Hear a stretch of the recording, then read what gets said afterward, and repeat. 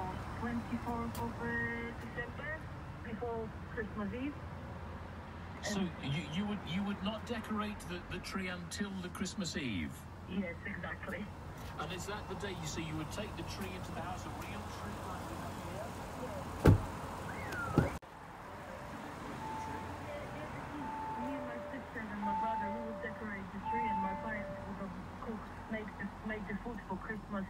uh, uh, meal.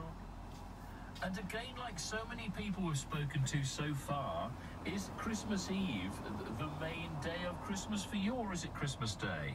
It's it's Christmas Eve. It's Christmas. It, and it's Christmas Eve when we also get the presents.